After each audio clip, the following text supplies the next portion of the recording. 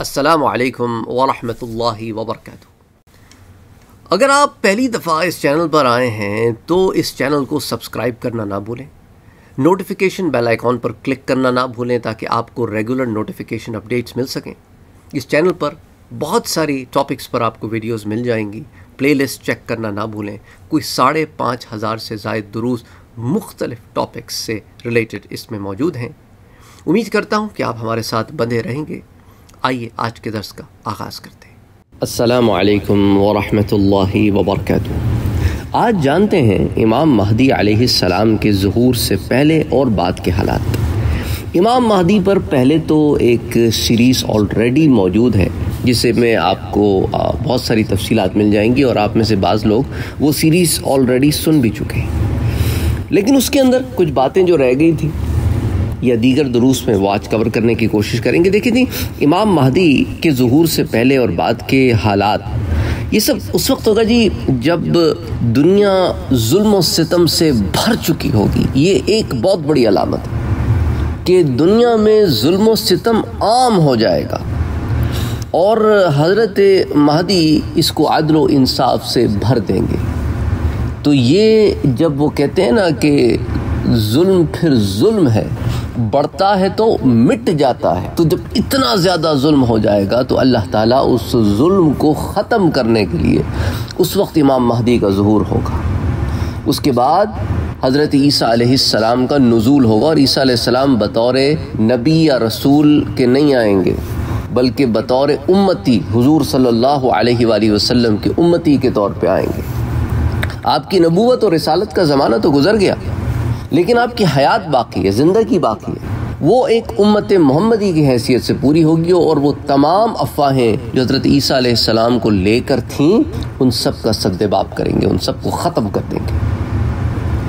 कि एक तरफ़ वो यहूदी जो आप पर बहतान अजीम बांधते और एक तरफ़ वो ईसाई जो आप पर बहतान अजीम बांधते, दोनों तरफ़ एक गुलू है, एक्सट्रीमिज़म है आपको लेकर। उसको ख़त्म करेंगे और कादियानियों जैसे झूठों का मुँह बंद कर देंगे। तो हज़रत महदी के जहूर से कबल से पहले फितने बहुत बढ़ चुके होंगे। कि देखें ना, जब इतनी ज़्यादा करप्शन, इतने ज़्यादा जुल्म होंगे तो फितने ही फितने होंगे।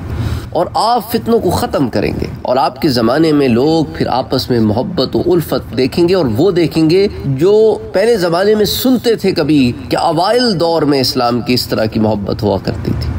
अच्छा हज़रत महदी की खिलाफत पूरी दुनिया में होगी और वो पूरी दुनिया के हुक्मरान होंगे, जिसकी मुद्दत सात साल से नौ साल तक के दरमियान होगी। हज़रत इमाम मादी की शनाख्त के लिए एक अलामत यह भी होगी कि इनसे लड़ने के लिए एक लश्कर रवाना होगा और जब वो लश्कर मक्का और मदीना के दरमियान पहुंचेगा तो इस पूरे लश्कर को ज़मीन में धंसा दिया जाएगा। मुकाम बैदा में लश्कर के ज़मीन में धंस जाने की रिवायात सही मुस्लिम में भी मौजूद हैं और सुनन इबन माजा में भी मौजूद हैं। सही मुस्लिम में इस पर एक से जायद अहदीस मुबारक मौजूद है। सुफियानी और उसके लश्कर की तफसीलात भी किताबों में मौजूद हैं और उसका ज़माना भी ऐसा ज़माना होगा कि मुसलमानों का कत्ल आम होगा और फुदला को तो बिलखसूस कत्ल करेगा। लेकिन ये फितना ज़्यादा देर तक चल नहीं सकेगा क्योंकि हज़रत इमाम महदी का जहूर हो चुका होगा, जिसकी अलामत ये होगी कि सुफियानी बैतुल्लाह को मुनहदम करने की नीयत से रवाना होगा। लेकिन जब ये अपने लश्कर समेत बैदा नामी जगह जो हरमैन के दरमियान है पहुंचेगा तो पूरा लश्कर ज़मीन में धंसा दिया जाएगा। तो इस लश्कर का ज़मीन में धसना फितनिया सुफियानी की निशानी होगी और सुफियानी का खरूज दरअसल इमाम महदी के जहूर की अलामत होगी।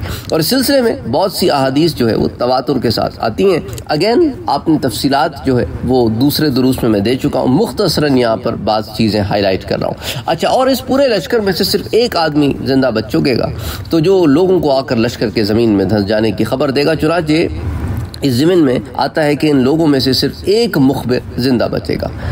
और यही नहीं कि इमाम महदी के जहूर से पहले सिर्फ़ सुफियानी का खरूज होगा, बल्कि बहुत से और लोग भी खरूज करेंगे, निकलेंगे। चुनाचे कुछ लोग मिस्र से निकलेंगे, कुछ मगरबी जानब से और कुछ जजीरतुल अरब से।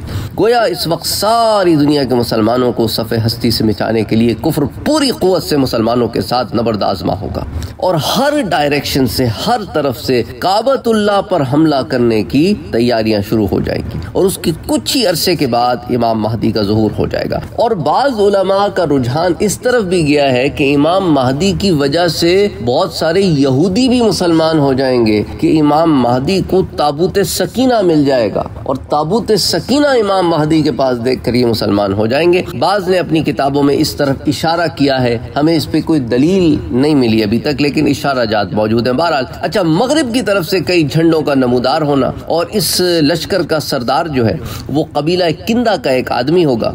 चुनाचे नुआमिन बिन हम्माद ने यह रिवायत नकल की है कि जिसका तर्जुमा कुछ इस तरह होता है कि इमाम महदी के जहूर की अलामत वो चंद झंडे हैं जो मगरब की तरफ़ से आएँगे और उनका सरदार कबीला किंदा का एक लंगड़ा शख्स होगा। ये किताबुल फितन में रिवायत आती है। अच्छा इमाम महदी की तस्दीक व तईद और उम्मत मुस्लिमा की इज़्ज़त व शराफत और इसकी अल्लाह के नज़दीक मकबूलियत की सबसे अहम दलील वो नमाज़ होगी जो हज़रत ईसा हज़रत इमाम महदी की इकतदा में अदा फरमाएँगे कि इमाम महदी जो है, वो इमाम होंगे और हज़रत ईसा उनके पीछे नमाज़ अदा करेंगे अदा करेंगे बतौर मुख्तदी के। हालाँकि इमाम महदी उन्हें पेशकश देंगे कि आप आके इमामत करें, लेकिन उन्होंने ये मसला उम्मत को समझाना होगा कि मैं बतौर नबी या बतौर रसूल ईसा नहीं आया हूँ, मैं उम्मत मोहम्मदी का हिस्सा बन के आया हूँ कि वो ला मोहम्मद रसूलुल्लाह का कलमा पढ़ के उम्मत मुस्लिमा में दाखिल हो जाएँगे, जो हुजूर की उम्मत है।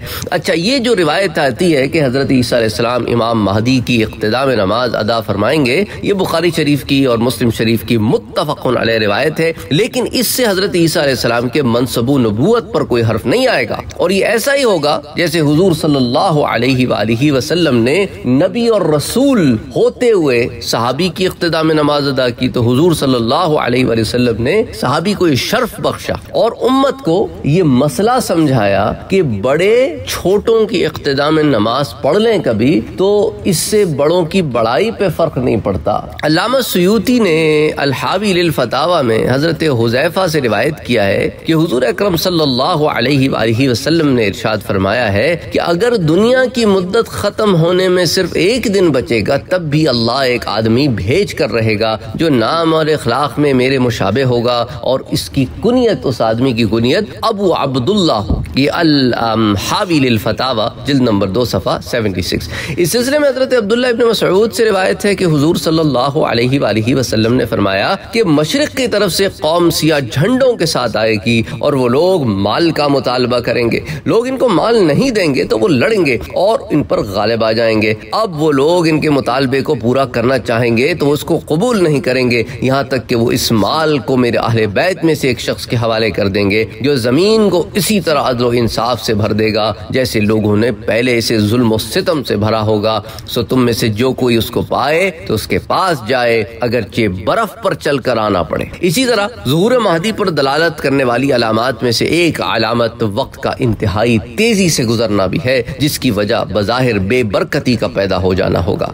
तिरमिजी शरीफ की एक रिवायत का तर्जुमा है कि क़यामत उस वक्त तक नहीं आएगी, जब तक जमाना करीब न जाए, साल महीने के बराबर महीना, हफ़्ते के बराबर, हफ़्ता, दिन के बराबर, दिन एक घंटे के बराबर और एक घंटा आग का शोला सुलगने के बराबर न हो जाए। इस हदीस की शरह करते हुए मुल्ला अली कारी ने इमाम खत्ताबी का ये कौल नकल फरमाया है कि ऐसा इमाम महदी हज़रत ईसा सलाम या दोनों के जमाने में होगा। मैं कहता हूँ कि आखिरी कौल ही ज़्यादा ज़ाहिर है, क्योंकि ये मामला खरूज दज्जाल के वक्त पेश आएगा और दज्जाल का खरूज इन दोनों बुज़ुर्गों के ज़माने में होगा। असलकम वरहमतुल्लाहि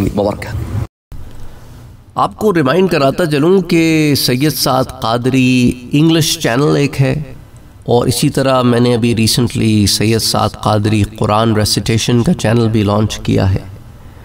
तो इन दोनों चैनल्स को विज़िट करना, इन्हें सब्सक्राइब करना, इनमें वीडियोस देखना ना भूलें। अगर आपने अभी तक हमारे चैनल को सब्सक्राइब नहीं किया है तो सब्सक्राइब का बटन दबाएँ, बेल के आइकॉन को प्रेस करें ताकि आपको रेगुलर नोटिफिकेशन अपडेट्स मिल सके और आप हमें हमारे लाइव सेशंस में भी ज्वाइन कर सके। वीडियो पसंद आने की सूरत में लाइक शेयर और कमेंट करना ना भूलें।